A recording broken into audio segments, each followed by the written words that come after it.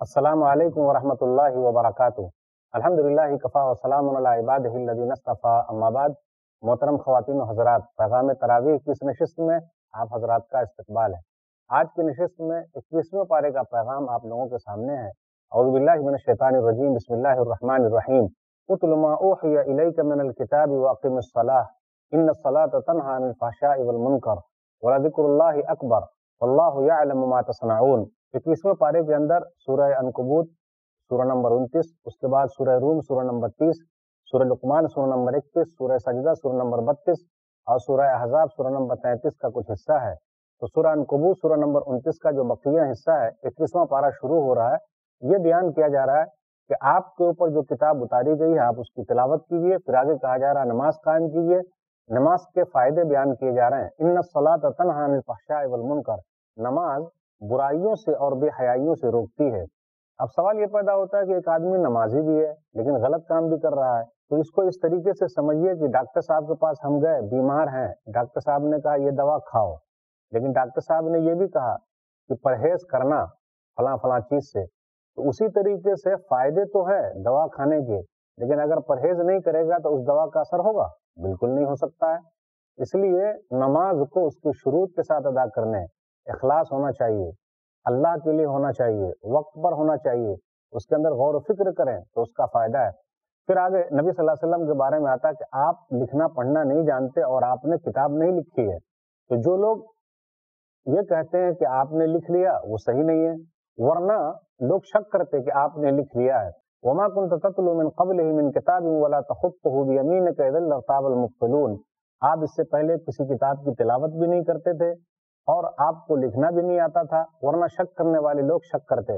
اب آگے بیان کیا جا رہا ہے۔ اللہ فرماتے، یا عبادی الذین آمنوا، ان ارض واسعۃ فایای فاعبدون، کل نفس ذائقۃ الموت ثم الینا ترجعون۔ اے میرے بندو، اللہ کی زمین کشادہ ہے، میری ہی عبادت کرو۔ تو اگر ستایا جائے، پریشان کیا جائے، تو آدمی کو چاہیے کہ وہاں رہے، جہاں امن و شانتی ہے۔ پوری زمین اللہ کی ہے۔ آگے کہا جا رہا ہے، ہر نفس کو موت کا مزہ چکھنا ہے، ہماری ہی طرف لوٹ کرانا ہے۔ اللہ تعالیٰ نے اپنے توحید کے دلائل بیان کیے، بارش نازل کرتا ہے وہی۔ سورج چاند ستارے اسی نے بنائے ہیں۔ لوگ کہتے ہیں کہ اللہ۔ پھر آگے مشرقین کے بارے میں کہ وہ لوگ غیر اللہ کو پکارتے تھے، لیکن جب پریشانی میں آ جاتے تھے تو اللہ ہی کو پکارتے تھے۔ فیضارہ کے وہ فلفل کے داغ اللہ مخلصین اللہ الدین فلم نجا ہمر البر اضا ہم کہ جب وہ لوگ کشتی میں سوار ہوتے تو اللہ تعالیٰ ہی کو یاد کرتے، لیکن جب اللہ تعالیٰ پریشانی سے نکال دیتا تو پھر وہ لوگ اللہ کے ساتھ شریک ٹھہراتے۔ حضرت اکرما بن ابی جہل رضی اللہ تعالیٰ عنہ کے بارے میں آیا کہ وہ مکہ سے بھاگے تاکہ اسلام میں داخل نہ ہو۔ ان کی کشتی جو ہے وہ ہلنے لگی سمندر میں۔ تو پتوار نے کہا ملہ نے کہا، ایک اللہ کو یاد کرو۔ تو ان کے دماغ میں یہ بات آ گئی، جو اللہ پانی میں بچا سکتا ہے، وہ اللہ زمین میں بچا کیوں نہیں سکتا؟ پھر وہ آئے اور اسلام قبول کر لیا۔ تو اللہ تعالیٰ خشکی کا بھی اللہ ہے، زمین کا بھی اللہ ہے۔ اللہ ہی کا قانون ہر جگہ چلتا ہے، اللہ ہی بچانے والا ہے۔ پھر آگے حرم کے بارے میں آیا، مکہ کے بارے میں آیا، اولم یرو انا جعلنا حرما آمنا ویتخطف الناس من حولہم۔ کیا نہیں دیکھا کہ ہم نے حرم کو، مکہ کو، خانہ کعبہ کو شانتی کی جگہ بنا دیا ہے، جبکہ اس کے ارد گرد لوگ اچک لیے جاتے ہیں۔ آخری آیت ہے، آیت نمبر 69 سورہ انکبوت کی۔ وَالَّذِينَ جَاهَدُوا فِينَا لَنَهْدِيَنَّهُمْ سُبُلَنَا وَإِنَّ اللَّهَ لَمَعَ الْمُحْسِنِينَ۔ جو لوگ ہمارے راستے میں کوشش کریں گے، ہم اسے سیدھا راستہ دکھائیں گے۔ اور اللہ تعالیٰ نیکوکاروں کے ساتھ ہے، نیک لوگوں کے ساتھ ہے۔ اس لیے کوشش کیجیے، اللہ راستہ دکھاتا ہے اور اللہ تعالیٰ نیک لوگوں کے ساتھ ہے۔ اس کے بعد ہے سورہ روم، سورہ نمبر تیس۔ بسم اللہ الرحمن الرحیم۔ الف لام میم، غلبت الروم۔ الف لام میم، اس کا معنی اللہ ہی کو بہتر معلوم ہے۔ رومی جو ہے وہ مغلوب ہو گئے۔ کہا جا رہا ہے، کچھ دنوں کے بعد وہ لوگ غالب آ جائیں گے، وہ لوگ جیت جائیں گے۔ نبی صلی اللہ علیہ وسلم کے زمانے میں ایران اور روم کی حکومت تھی۔ ایران کے لوگ آگ پوچھتے تھے اور روم کے لوگ عیسیٰ علیہ صلاۃ والسلام کے ماننے والے تھے، اہل کتاب تھے۔ اس لیے مسلمانوں کی محبت ان لوگوں کے ساتھ تھی۔ تو یہ واقعہ آئندہ ہونے والا ہے۔ تب نبی صلی اللہ علیہ وسلم نے کہا، قرآن کریم جب اترا، یہ لوگ آج ہار گئے ہیں۔ چند سالوں کے بعد یہ لوگ جیت جائیں گے۔ بالآخر وہی ہوا۔ سات سے نو سال کے درمیان دوبارہ رومی لوگ جیت گئے۔ ایرانیوں پر فتح حاصل کر لی۔ آگے بیان کیا جا رہا ہے، اولم یتفکروا فی انفسہم، کیا ان لوگوں نے غور و فکر نہیں کیا اپنی جانوں میں؟ لوگوں کو چاہیے کہ خود اپنے اندر غور کرے۔ آپ دیکھیے، تین سو ساٹھ جوڑ ہیں۔ اللہ نے آنکھ کہاں رکھی ہے، کان کہاں ہے، ہاتھ کہاں ہے؟ اگر اس طرح غور و فکر کریں گے تو اس کا بڑا فائدہ ہے۔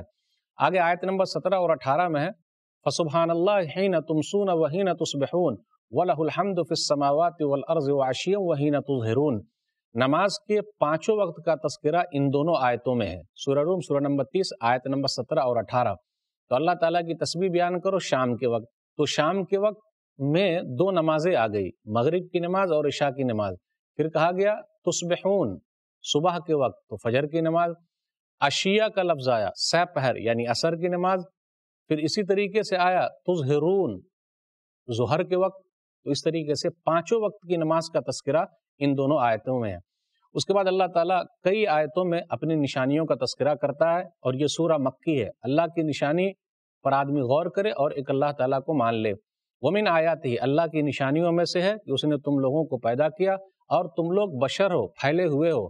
پھر آگے کہا، ومن آیات ہی انخلق لکم من انفسکم ازواجل تسکنو الیہا وجعل بینکم مودتا ورحمہ اللہ کی نشانیوں میں سے ہے کہ اسی نے تمہیں میں سے جوڑا بنایا۔ تو میاں بیوی ایک دوسرے کے لیے جوڑا ہیں۔ عورت جو ہے، مرد کے لیے جوڑا ہے۔ پھر کہا، آپس میں محبت اور رحمت پیدا کر دی۔ اب بتائیے، دونوں کہاں کے ہوتے ہیں، لیکن کس طریقے سے ملتے ہیں؟ جائز طریقے سے جب ملتے ہیں تو اللہ تعالیٰ محبت پیدا کر دیتا ہے۔ اس کے بعد یہ کہا، اللہ تعالیٰ کی نشانیوں میں سے ہے کہ وہ اختلاف و السنتکم و الوانکم، تمہاری زبانوں کا مختلف ہونا اور رنگوں کا بھی مختلف ہونا۔ آپ دیکھ لیجیے، دنیا میں بہت ساری زبانیں ہیں۔ عربی ہے، اردو ہے، ہندی ہے۔ فارسی ہے، انگلش ہے، بہت ساری زبانیں ہیں۔ لوگ اپنی اپنی زبانیں بول رہے ہیں۔ یہ اللہ تعالیٰ کے توحید کے لیے دلیل ہے۔ پھر اسی طرح رنگوں کا مختلف ہونا، کوئی کالا ہے، کوئی گورا ہے، کوئی لمبا ہے، کوئی ناٹا ہے، کوئی نیلگو ہے۔ غور کریں، دیکھیں اللہ کی نشانیاں۔ پھر اسی طرح یہ بیان کیا گیا، رات میں آرام اور دن میں کام اللہ کی نشانیوں میں سے ہے۔ پھر اسی طرح بجلی چمکتی ہے تو امید جگ جاتی ہے کہ بارش ہوگی، اللہ کی نشانیوں میں سے ہے۔ آگے آیت نمبر تیس میں کہا، فطرت اللہ اللہ فطر الناس علیہ لا تبدیل الخلق اللہ، ذالک الدین القیم، ولیکن اکثر الناس لا يعلمون اللہ تعالیٰ کی فطرت یعنی توحید، اسی پر اللہ نے لوگوں کو پیدا کیا ہے۔ بچہ بھی فطرت توحید پر پیدا ہوتا ہے اور یہی سیدھا دین ہے، لیکن اکثر لوگ نہیں جانتے۔ جہاں جہاں قرآن نے کہا، اکثر لوگ نہیں جانتے، تو ہمیں اور آپ کو بھی یہی یقین رکھنا ہے، زیادہ تر لوگ حق پر نہیں ہیں۔ پھر آگے کہا واقعی مصلاح ولا تکون من المشرقین نماز قائم کرو اور مشرقوں میں سے نہ ہو جاؤ۔ آیت نمبر اکتیس ہے، تو جو لوگ نماز نہیں پڑھتے انہیں ڈرنا چاہیے، کہیں ایسا نہ ہو ان کا شمار مشرقوں میں سے ہو جائے۔ پھر آگے کہا، جو لوگ دین کو بانٹے ہوئے ہیں، گروہ میں بٹے ہوئے ہیں، خوش ہیں۔ کل حزب بما لدیہم فرحون، جو کچھ ان کے پاس ہے اسی پر خوش ہے سب کے پاس دلیل ہے، سب خوش ہے جبکہ ہونا یہ چاہیے تھا قرآن اور حدیث کے قریب کون ہے؟ صحیح طریقے سے عمل کون کر رہے ہیں؟ وہی اصل حق پر ہے۔ آگے آیت نمبر اکتالیس ظہر الفساد فی البر والبحر بما کسبت اید الناس لیوزیقهم بعد الذی عملوا لعلهم یرجعون۔ قل سیروا فی الارض فانظروا کیف کان عاقبت الذین من قبل کان اکثرهم مشرکین۔ خشکی اور تری میں لوگوں کے کرتوت کی وجہ سے فساد پھیل گیا ہے۔ اللہ تعالیٰ چکھاتا ہے بعض گناہوں کا تاکہ لوگ لوٹ آئیں۔ جاؤ زمین میں گھومو دیکھو۔ جھٹلانے والوں کا کیا انجام ہوا؟ ان میں سے اکثر مشرک تھے۔ جتنی بھی سزائیں مل رہی ہے، یہ ہمارے خود کے کالے کرتوت ہے آپ یاد کریں، کہیں زلزلہ ہے، کہیں طوفان ہے، کہیں سونامی ہے، کہیں پریشانی ہے کہ آپس میں لڑنا، جھگڑنا ہے۔ ہمارے ہی گناہ ہیں۔ گناہوں کی وجہ سے ایسا ہو رہا ہے۔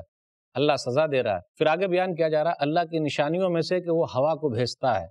اور ہوا جو ہے، اس طریقے سے بدلیوں کو اٹھاتی ہے اور اس کے بعد بارش نازل ہوتی ہے۔ تو اللہ کی نشانیاں ہیں۔ فن تقمنا من الدین اجرم وقان حقن علینا نصر المؤمنین۔ اللہ نے کہا، جو لوگ انکار کرنے والے لوگ ہیں، ہم نے ان سے انتقام لے لیا اور ہم تو مومنوں کی مدد کرنے والے ہی ہیں۔ اخیر اخیر میں کہا فصبر ان وعد اللہ حق ولا یستخفنک الذین لا یقنون آیت نمبر ساٹھ ہے کہ آپ صبر کیجیے، اللہ کا وعدہ سچا ہے، ورنہ جو لوگ یقین نہیں رکھتے وہ آپ کو ہلکے میں لے لیں گے۔ اس کے بعد سورہ لقمان سورہ نمبر اکتیس ہے۔ اس کے اندر چونتیس آیتیں یہ سورہ بھی مکی ہے۔ سورہ روم بھی مکی تھی۔ بسم اللہ الرحمن الرحیم الف لام میم تلک آیات الکتاب الحکیم الف لام میم اس کا معنی اللہ ہی کو معلوم ہے حکمت والی کتاب کی آیتیں ہیں یہ نیک لوگوں کے لیے رحمت ہے اور ہدایت ہے. اب نیک لوگوں کا تذکرہ ہوا. نماز قائم کرنے والے، زکوٰۃ ادا کرنے والے، آخرت پر یقین رکھنے والے، یہی لوگ کامیاب ہونے والے ہیں. آپ دیکھ لیجیے، جسمانی عبادت، مالی عبادت، روحانی عبادت، سب کا تذکرہ ہوا. جو لوگ بیکار کی باتیں خریدتے ہیں تاکہ لوگوں کو اللہ کے راستے سے روکیں تو ان لوگوں کے لیے دردناک عذاب ہے۔ پھر آگے اللہ تعالیٰ نے کہا، خلق السماوات بغیر عمد ترونہا۔ آسمان کی طرف دیکھو، بغیر کھمبے کے کھڑا ہوا ہے۔ پھر اسی طرح کہا، زمین کے اندر اللہ نے پہاڑ کو گاڑ دیا تاکہ تمہیں ہلا نہ سکے۔ اللہ نے یہ چیزیں پیدا کی ہادا خلق اللہ فارون مادا خلق اللہ دین مندونی یہ اللہ کی مخلوقات ہے، اللہ نے پیدا کیا ہے۔ بتاؤ، دوسرے اور لوگ ہیں جنہوں نے پیدا کیا ایسا؟ کیا ہے؟ بتاؤ۔ اب اس کے بعد آیت نمبر بارہ سے آیت نمبر انیس تک آٹھ آیتوں میں لقمان علیہ السلاۃ والسلام کا واقعہ ہے کہ وہ اپنے بیٹے کو نصیحت کرتے، ایک باپ کے لیے ضروری ہے، ایک ماں کے لیے ضروری ہے کہ وہ لقمان علیہ السلاۃ والسلام کی ان نصیحتوں کو یاد کرے۔ یہی تو ہماری زندگی میں بہترین باپ وہ ہے جو ان نصیحتوں پر عمل کرتا ہے اور اپنے بچوں کے لیے فکر کرتا ہے۔ لقمان علیہ السلاۃ والسلام کے بارے میں آیا، اللہ نے کہا، ہم نے حکمت دی پھر اس کے بعد کہا، شکر ادا کیجیے جو شکر ادا کرے گا، اس کا خود کا فائدہ ہے۔ وہ یشکر فعین نما یشکر النفسی ومن کفر فعین اللہ غنی الحمید جو شکر ادا کرے گا، اس کا خود کا فائدہ ہے۔ جو ناشکری کرے گا، اللہ بے نیاز ہے، تعریفوں والا ہے۔ لقمان علیہ السلاۃ والسلام اپنے بچے کو نصیحت کرتے ہوئے کہتے، دیکھیے، فکر، توحید کی فکر۔ آج کل ہمیں اور آپ کو اپنے بچے کے بارے میں کیا چیز کی فکر ہے؟ بھائی سیٹلمنٹ ہو جائے، کیوں بہترین اسکول میں پڑھا رہے ہیں؟ بھائی اچھا ہو جائے ویل سیٹ ہو جائے۔ آخرت کی فکر کہاں ہے؟ ایک اللہ کو ماننے والا رہا اس کی فکر کہاں ہے؟ لیکن لقمان نیک آدمی ہے ان کا چرچا بہت تھا عربوں میں، اس لیے ان کا واقعہ بیان کیا گیا کہ نیک لوگ جو ہیں، فکر کرتے ہیں، یا بنئی اللہ تو شرک باللہ، ان نشرک الغلم ناظیم میرے بیٹے، اللہ کے ساتھ کسی کو شریک نہ کرنا شرک سب سے بڑا ظلم ہے۔ اللہ نے انسان کو وصیت کی ہے کہ ماں باپ کے ساتھ اچھا رہے، خاص طور پہ ماں۔ حملت ام وحرن لا وحنی و فصال فی عامین۔ انشکرلی ولی والدئی کے المصیر۔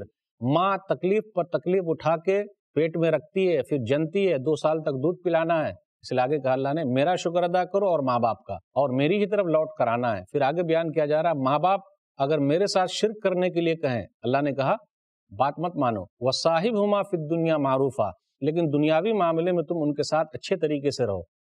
لقمان علیہ السلاۃ والسلام اپنے بیٹے کو نصیحت کرتے ہوئے کہتے، یا بنیا ان ان تک مسقال حبت من خردل۔ فتق فی سخرت او فی السماوات او فی الارض یات بہ اللہ، ان اللہ لطیف خبیر۔ میرے بیٹے، ذرہ برابر چاہے نیکی ہو، برائی ہو، چٹان میں ہو، آسمانوں میں ہو، زمین میں ہو، رب اس کو لائے گا۔ وہ بڑا باریک بین ہے اور ہر چیز کی خبر رکھنے والا ہے۔ تو اپنے بچوں کے دلوں میں بچپن سے اللہ کا ڈر پیدا کیجیے بیٹے، کوئی دیکھے نہ دیکھے اوپر والا دیکھ رہا ہے۔ اچھا یہ بتاؤ، کھانا پینا کس نے دیا؟ اللہ نے۔ تو ہمیشہ اللہ کا ڈر پیدا کیجیے ہوتا کیا ہے؟ اے مستی کر رہا ہے، ابھی ڈاکٹر کے پاس لے جاؤں گا، سوئی دے دیں گے۔ اچھا پولیس والے بھیا، دیکھو نا، یہ مستی کر رہا ہے، اس کو ماریے۔ انسان سے کیوں ڈراتے ہو؟ اللہ کا ڈر پیدا کیجیے، تب وہ اچھا انسان بنے گا۔ ارے، جو رب کا ہے، وہ سب کا ہے۔ جو رب کا نہیں ہے، وہ کسی کا نہیں ہے۔ پھر آگے بیان کیا جا رہا ہے؟ وصیت کرتے، یا بنئی عقیم الصلاح میرے بیٹے، نماز پڑھنا۔ وامر بالمعروف ونہان المنکر وصبر علامہ صابق ان ذالک من عزم الامور۔ بھلائی کا حکم دینا، برائیوں سے روکنا اور صبر کرنا۔ اب دیکھیں صبر کی تلقین کرنی ہے، بچے کو بتانا ہے، فکر کرنی ہے، یہ پکے کاموں میں سے ہے۔ ولا تصائر خد قل الناس ولا تمشي في الارض مرحا ان الله لا يحب كل مختار فخور۔ واقصد في مشيك واغضض من صوتك ان انكر الاصوات لصوت الحمير۔ بیٹے، زمین میں اکڑ کے مت چلنا، اکڑ کے مت چلنا، کسی سے گال مت پھلانا، منہ مت پھلانا۔ کچھ بھائی ایسے ہیں، کچھ بہنیں ایسی ہیں، خود بولتے ہیں ان سے ملنا نہیں، جانا نہیں، منع کیا جا رہا بیٹے نرم چال چلنا، تو چلنے کا بھی طریقہ سکھائیے، اکڑ کے نہ چلے۔ اور چلانا نہیں، ادھر ادھر کی آواز مت نکالنا، سب سے بری آواز گدھے کی آواز ہے۔ تو دیکھیے، آپ روحانی عبادت بھی ہے، جسمانی عبادت بھی ہے، نماز، اور اخلاقی تربیت بھی ہو رہی ہے، ہر طریقے سے سکھایا جا رہا ہے۔ تو بچوں کے سلسلے میں فکر مند رہنا۔ تو یہ بہترین آیتیں ہیں، خاص طور پہ والدین کے لیے۔ ہم اور آپ اس کو پڑھیں، قرآن سے جڑیے، بڑا فائدہ ہوگا۔ آپ کا بیٹا اچھا انسان بن جائے گا، آپ کی بیٹی اچھا انسان بنے گی۔ آگے بیان کیا جا رہا ہے، اللہ تعالیٰ نے سب کو نعمتیں دے رکھی ہے۔ واسبغ علیکم نعمہ ظاہرۃ و باطنہ اللہ نے ظاہر اور باطن، ظاہری نعمت، چھپی ہوئی نعمت سب بندوں کو دے دی ہے۔ اب آگے اللہ تعالیٰ کے بارے میں آیا۔ آیت نمبر ستائیس میں ہے، ولو انما فی الارض من شجرت اقلام والبحر یمدہ من بعد سبعت عبر ما نفدت کلمات اللہ ان اللہ عزیز الحکیم زمین کے سب درخت جو ہیں وہ قلم بن جائیں۔ ایک سمندر کیا، تمام سمندر، سات سمندر بھی سب سمندر سیاہی بن جائیں، اللہ کی تعریف کبھی ختم نہیں ہوگی۔ اللہ کے کلمات کبھی ختم نہیں ہوں گے۔ وہ غالب ہے، حکمت والا ہے۔ پھر آگے بیان کیا جا رہا، قیامت کا ذرا منظر یا ایوہ الناس اتقوا ربکم وقش یوم اللہ یجزی والد عن ولدی ولا مولود هو جاز عن والده شیئا۔ ان وعد اللہ حق۔ فلا تغرنکم الحیات الدنیا ولا یغرنکم باللہ الغرور۔ اے لوگو، اپنے رب سے ڈرو اور ڈرو اس دن سے جس دن نہ باپ بیٹے کے نہ بیٹا باپ کے کام آئے گا، کوئی کسی کے کام نہیں آئے گا۔ دیکھو، دنیاوی زندگی دھوکے کا سامان ہے اور دھوکہ دینے والا کہیں دھوکے میں نہ ڈال دے۔ اب آخری آیت ہے، آیت نمبر چونتیس۔ پانچ چیزوں کے بارے میں بیان کیا گیا۔ یہ پانچ چیزوں کا علم اللہ کے پاس ہے۔ ان اللہ عندہ علم الساعہ وینزل الغیث ویعلم ما فی الارحام وما تدری نفس ماذا تکسب غدا وما تدری نفس بأي ارض تموت۔ ان اللہ علیم الخبیر۔ قیامت کب آئے گی؟ اللہ کو معلوم ہے۔ بارش کب اترے گی؟ اللہ کو معلوم ہے۔ کچھ لوگ بھوشوانی کرتے ہیں کہ بارش ہونے والی ہے، لیکن ایسا تھوڑے نا کہ ہمیشہ صحیح ہی ہو جائے۔ ہاں لیکن اللہ دل میں ڈالتا ہے، تبھی تو وہ لوگ بولتے ہیں۔ ماں کے پیٹ میں کیا اللہ کو معلوم؟ آج کل لوگ بولتے ہیں جی مشین کے ذریعے تو پتا چل رہا ہے۔ اچھا بیٹی ہے تو ختم کرا دو، بیٹا ہے تو رہنے دو۔ کبھی کبھی الٹا بھی ہو جاتا ہے۔ اچھا یہ بتائیے، ماں کے پیٹ میں ہے، کالا ہے، گورا ہے، اس کے بارے میں پتا چلے گا؟ ماں کے پیٹ میں جو ہے وہ اچھا یا برا ہے پتا چلے گا؟ اللہ کو سب معلوم ہے۔ آدمی کیا کمائے گا؟ اس کی روزی روٹی کہاں لگی ہوئی؟ اللہ کو معلوم ہے۔ آدمی کہاں مرے گا؟ اللہ ہی کو معلوم ہے۔ موت جب لکھی ہوئی رہتی ہے تو آدمی وہاں چل کے جاتا ہے، جبکہ زندگی میں کبھی نہیں گیا۔ اب اس کے بعد سورہ سجدہ، سورہ نمبر بتیس، یہ بھی مکی سورہ ہے۔ نبی صلی اللہ علیہ وسلم جمعہ کے دن اس کی تلاوت کیا کرتے تھے؟ بسم اللہ الرحمن الرحیم، الف لام میم تنظیر الکتاب لا ریب فیہ من رب العالمین۔ یہ کتاب نازل کردہ ہے رب العالمین کی طرف سے۔ لوگوں نے کہا، گڑھ لیا۔ جی نہیں، یہ حق بات ہے۔ اس کے بعد یہ کہا اللہ وہ ہے جس نے آسمان و زمین کو پیدا کیا، پھر انسان کے پیدائش کے مراحل کا تذکرہ ہے۔ اللہ نے کہا وجہ والابصار والافدہ علی لما تشکرون۔ پھر اللہ تعالیٰ کی نعمتوں کا تذکرہ ہے۔ کان، آنکھ، دل دیے بہت کم تم لوگ شکریہ ادا کرتے ہو۔ پھر قیامت کا منظر بیان کیا جا رہا ہے۔ ملک الموت روح قبض کرتے ہیں۔ اور جب وہاں وہ لوگ عذاب کو دیکھ لیں گے تو کہیں گے، ربنا ابصرنا وسمینا فرجینا نعمل صالحا انا موقنون۔ اے ہمارے رب ہم کو دنیا میں لوٹا دے، ہم نیک عمل کریں، کیونکہ ہم کو اب یقین آ گیا۔ نیک عمل کرنے کی تمنا۔ یاد رکھیے، ایمان کے ساتھ ساتھ نیک عمل ضروری ہے، ورنہ گھاٹے کا سودا ہے۔ پھر آگے یہ کہا گیا، نیک لوگوں کے لیے جنت، برے لوگوں کے لیے جہنم۔ پھر یہ کہا گیا کہ مومن اور کافر دونوں برابر ہو سکتے؟ جی نہیں۔ جو لوگ نیک عمل کرتے ہیں، ان کا بڑا فائدہ۔ فلا تعلم نفس ما اخفی لهم من قرۃ اعین جزاء بما كانوا يعملون۔ ان کی آنکھوں کے لیے ٹھنڈک ہے، کیونکہ یہ نیک عمل کا بدلہ ہے۔ پھر اس کے بعد یہ بیان کیا جا رہا لوگ کہتے ہیں وعدے کا دن کب ہے، فتح کا دن کب ہے، انتظار کیجیے، وہ قیامت کا دن آنے والا ہے۔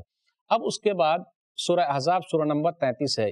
یہ مدنی سورہ ہے، پورے قرآن مجید میں تین صورتیں ایسی ہے جس میں عورتوں کے مسائل زیادہ بیان کیے گئے ہیں۔ بسم اللہ الرحمن الرحیم۔ یا ایوہ النبی اتق اللہ ولا تطع الكافرین والمنافقین۔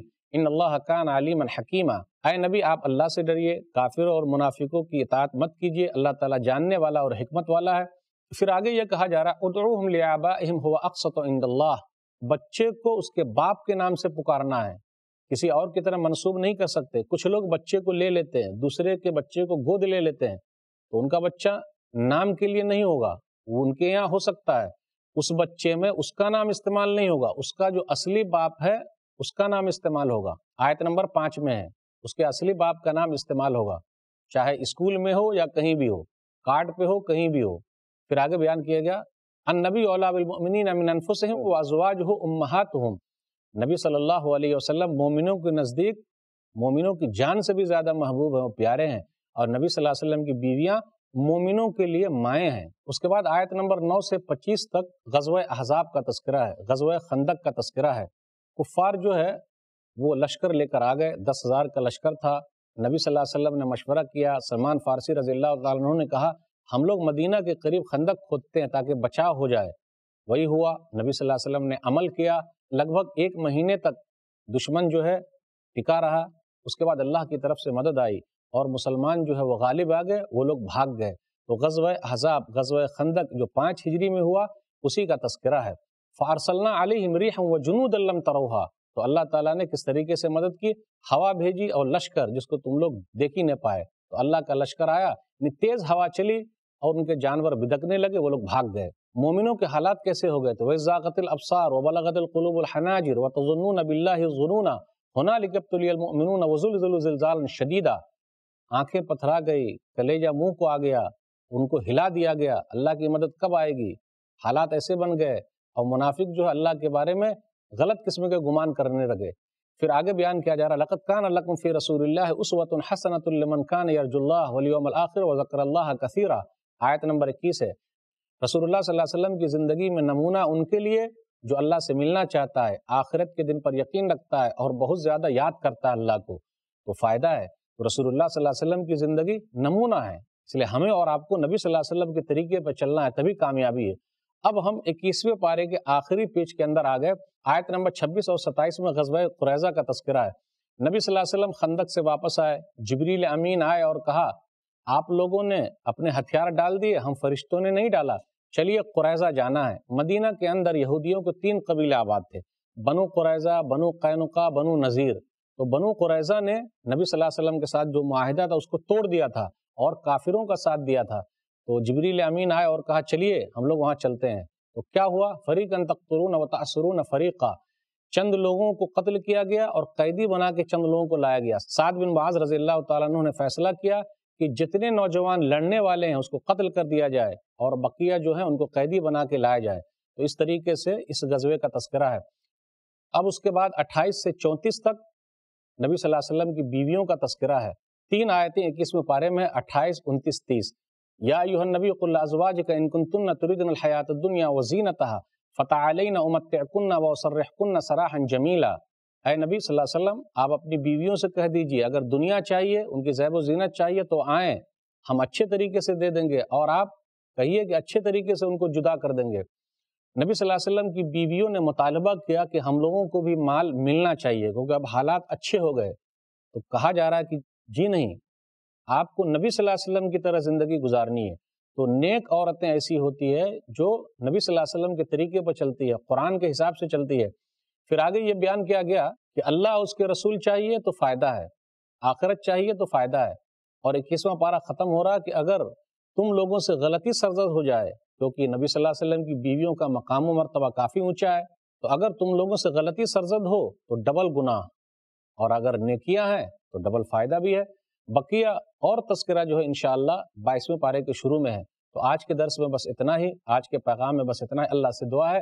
اللہ تعالی ہم لوگوں کو قرآن کریم کے پیغام کو سمجھنے، اس پر عمل کرنے اور لوگوں تک پہنچانے کی توفیق دامین السلام علیکم ورحمۃ اللہ وبرکاتہ۔